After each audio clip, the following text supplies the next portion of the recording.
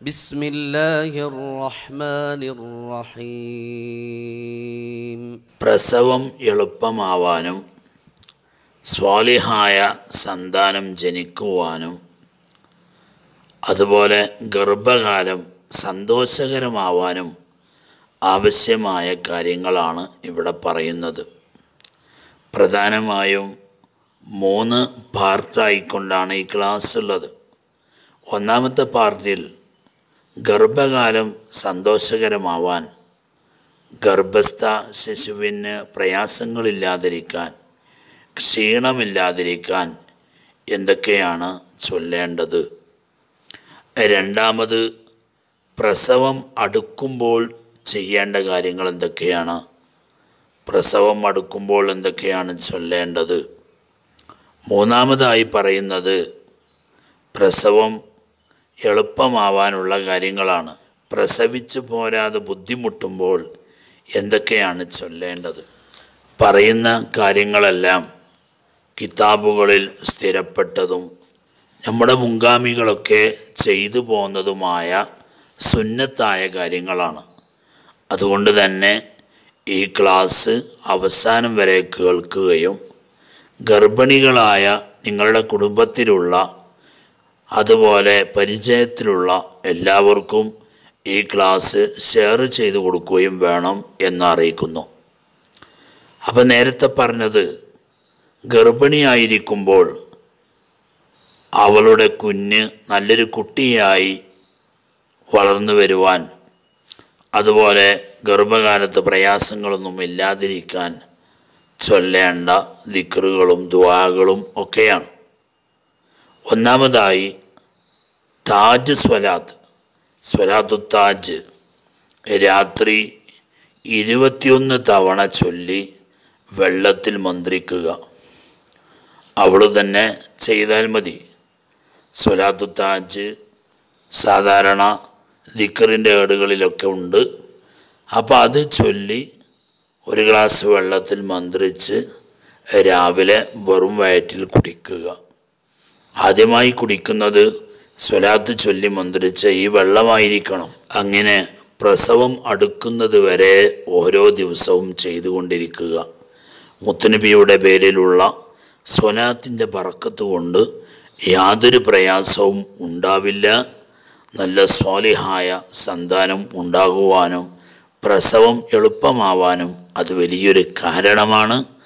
ധാരാളം ആളുകൾക്ക് ഫലം കണ്ടതുമാണ്. ഇനി രണ്ടാമത് ദ്വാവുൽ കറുബ് ഇത് പ്രത്യേകം സുന്നത്താണ് ചൊല്ലൽ ദ്വാവുൽ കറുബ് എന്നാൽ ലാ ഇലാഹ ഇല്ലല്ലാഹുൽ ഉൽ ഹലീം ലാ ഇലാഹ ഇല്ലല്ലാഹു റബ്ബുൽ അർശിൽ അദീം ലാ ഇലാഹ ഇല്ലല്ലാഹു റബ്ബു സമാവാത്തി സബഇ വറബ്ബുൽ അർളി വറബ്ബുൽ അർശിൽ കരീം. ഇതാണ് ദ്വാവുൽ കർബ്. ഇത് അമിതമായി ചൊല്ലുക. പ്രസവം അടുക്കുമ്പോഴുള്ള അവസ്ഥയാണ് പറയുന്നത്. അപ്പോൾ ഈ ദ്വാവുൽ കർബ് അമിതമായി ചൊല്ലുക. മൂന്നാമതായി ആയത്തുൽ കുർസി ഓതുക. ആയത്തുൽ കുർസി അത് വലിയ മഹത്തുള്ള ആയത്താണ്. അത് ഓതിക്കഴിഞ്ഞാൽ ഇതുപോലെ യാതൊരു പ്രയാസവും നേരിടാതെ സുഖകരമായി പ്രസവിച്ചു പോരാൻ കാരണമാണ്. അപ്പോൾ ഗർഭിണിയായ സഹോദരി ധാരാളമായി ആയത്തുൽ കുറിസി ഓതണം. എത്ര കഴിയുന്നു അത്ര ഓതുക. അതിലൊക്കെ വലിയ പുണ്യമാണ്. അവരുടെ കുഞ്ഞ് സ്വാലിഹാവാനും പ്രസവം എളുപ്പമാവാനും സിസേറിയനില്ലാതെ സന്തോഷകരമായി പ്രസവിച്ചു പോരാനും ഒക്കെ അതൊരു കാരണമാണ്. പ്രത്യേകിച്ച് ഇന്നത്തെ സാഹചര്യം നോക്കുകയാണെങ്കിൽ സിസേറിയൻ അധികരിച്ചൊരു കാലഘട്ടമാണ്. പ്രസവിക്കുക എന്നുള്ളത് കുറഞ്ഞു കുറഞ്ഞു വരികയാണ്. കൂടുതലും ഓപ്പറേഷനുകളാണ്. നവമാധ്യമങ്ങളിൽ നാം എല്ലാവരും കുറച്ച് മുമ്പേ ഒരു വാർത്ത വായിച്ചിരുന്നു. ഒരു ഹോസ്പിറ്റലിൽ ഇരുപത്തിയഞ്ചോളം ഗർഭിണികളെ ഡോക്ടർമാർ ലീവിന് പോകുന്നത് കാരണമായി സിസേറിയൻ ചെയ്ത സംഭവം. ഡേറ്റ് ആയതും ആവാത്തതൊക്കെ വെട്ടിപ്പൊളിച്ച് എല്ലാം സിസേറിയൻ ചെയ്ത് ഓപ്പറേഷൻ ചെയ്ത് അങ്ങനെ വലിയ വിവാദമായിരുന്നു അത്. അതുപോലെ തന്നെ പല സഹോദരിമാരും സിസേറിയൻ തന്നെ മതി പ്രസവവേദന സഹിക്കാൻ വയ്യ എന്ന ആ ഒരു മെയിൻഡ് ഉള്ളവരായി തീർന്നിട്ടുണ്ട്. പഴയകാലങ്ങളിലൊക്കെ അപൂർവങ്ങളിൽ അപൂർവമായ കേസുകളാണ് ഇങ്ങനെ ഓപ്പറേഷനുകളിൽ എത്താറുള്ളത് അതിന് വലിയ കാരണങ്ങളുണ്ട്. അവരുടെ വീട്ടിലെ ജോലികളൊക്കെ ഗർഭിണിയായിരിക്കുമ്പോൾ തന്നെ കൃത്യമായി ചെയ്യും. ഇപ്പം എന്റെ നാട്ടിലാണെങ്കിൽ ഒരുപാട് സഹോദരിമാർ തേയിലത്തോട്ടത്തിൽ ജോലിക്ക് പോകുന്നവരാണ്. തേയില പറിക്കാൻ വേണ്ടി പോകുന്നവർ. ഗർഭിണിയായിരിക്കെ തന്നെ ആറോ ഏഴോ എട്ടോ ഒൻപതോ മാസം ആയവരും ഈ തേയില നുള്ളാൻ വേണ്ടി അതിന്റെ ഇല പറിക്കാൻ വേണ്ടി ജോലിക്ക് പോവും. അങ്ങനെ ജോലിക്ക് പോയി പ്രസവം അടുത്ത് ആ ഒരാഴ്ചയിൽ പ്രസവം നടക്കുന്ന ഒരു അവസ്ഥയാണ് നേരത്തെ ഉണ്ടായിരുന്നത്. ഇപ്പോഴത്തെ സാഹചര്യങ്ങളൊക്കെ മാറി. സുബഹാനല്ലോ ഗർഭിണിയായി തുടങ്ങുമ്പോൾ തന്നെ പൂർണമായും റെസ്റ്റ് എടുത്തുകൊണ്ടിരിക്കുകയാണ്. പിന്നെ ചില നമ്മുടെ പെൺകുട്ടികളൊന്നും വീട്ടിലെ ജോലികളൊന്നും എടുക്കാതെ പൂർണമായും റെസ്റ്റ് അതുകൊണ്ട് തന്നെ ആ വയറ്റിലുള്ള ഗർഭത്തിലുള്ള ശിശുവിന് വേണ്ടതുപോലെ ചലനങ്ങൾ ലഭിക്കാതെ പ്രസവം വളരെ പ്രയാസകരമായി തീരുകയാണ്.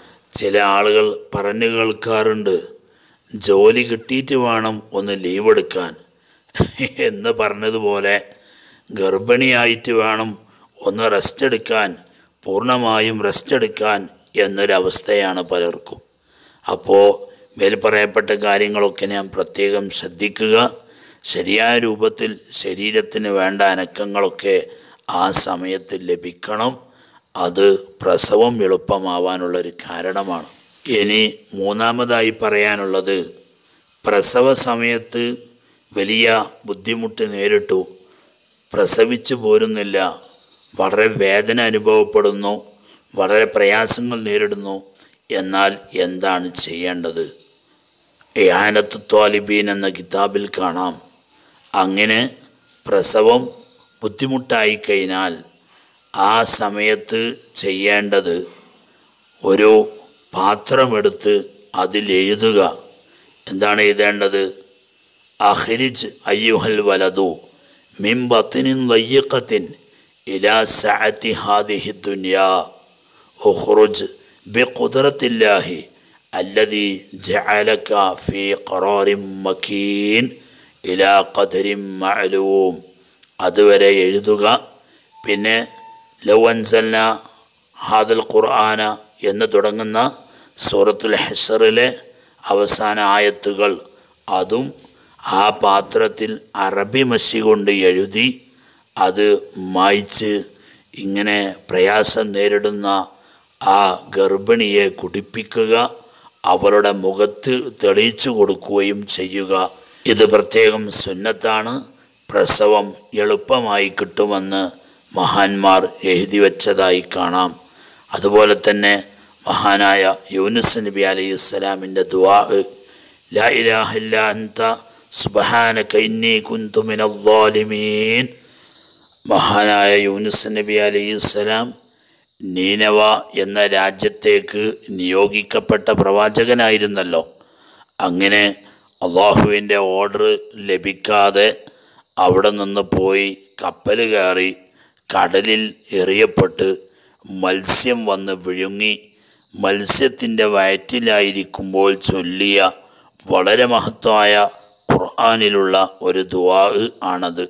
ഈ ദുവാ അമിതമായി ചൊല്ലുക ആ സമയത്ത് ഈ ഗർഭിണിക്ക് ചൊല്ലാൻ വലിയ പ്രയാസമായിരിക്കും.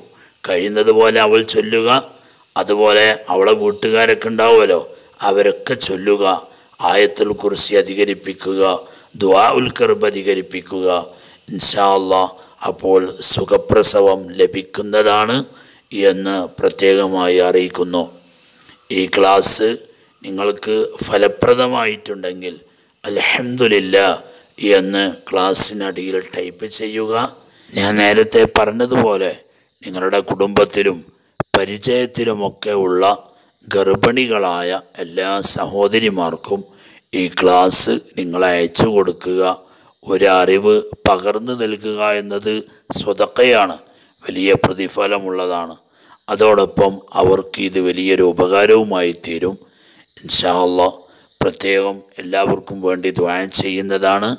നേരത്തെ പല പ്രയാസങ്ങളും അറിയിച്ചുകൊണ്ട് കമന്റ് ബോക്സിൽ ദ്വായം ചെയ്യാൻ ആവശ്യപ്പെട്ട് മെസ്സേജ് ചെയ്തവരുണ്ട്. പല സഹോദരിമാരുണ്ട് കൂട്ടുകാരുണ്ട്.